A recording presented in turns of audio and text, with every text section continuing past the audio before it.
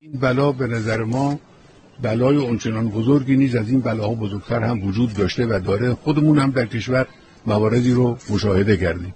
می توانند با دعا با توسلات و با طلب شفاعت و رسالت از ائمه اطهار علیهم السلام و طلب کمک از اون بزرگواران و توسل به ائمه اطهار علیهم السلام و نبی ورود واکسن آمریکایی و انگلیسی به کشور ممنوعه. این من به مسئولین هم گفتم الانم به طور عموم میگم.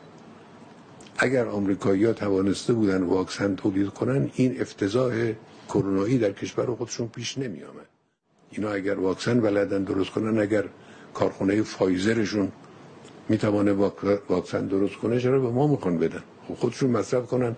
اینقدر مرده و کشته زیاد نداشته باشن. انگلیس هم همینجور. خب بیماری وحشی تقیان کرده نه فقط در ایران.